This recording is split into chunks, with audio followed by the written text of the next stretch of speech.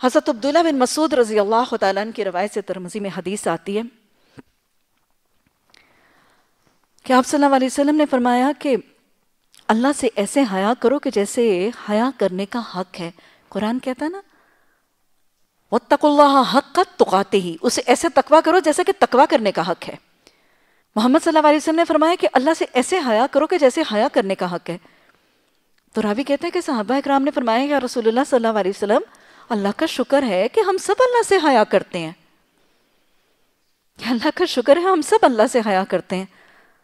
आप सल्लल्लाहु अलैहि वसल्लम ने फरमाया, ऐसे नहीं, बल्कि हया का हक ये है कि तुम हिफाजत करो अपने सर की और जो कुछ इसमें है। सर में क्या क्या है? आँख, कान, जबान, दिमाग।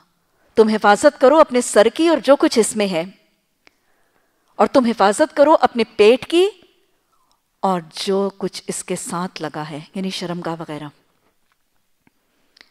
और हड्डियों के गल जाने और सड़ जाने की फ़िक्र करो। हड्डियों के गलने और सड़ने की फ़िक्र करो। और जो शख्स आखरत का ख्वाहिशमंद है, उसे चाहिए कि दुनिया की जेब जीनत को तर्क कर दे।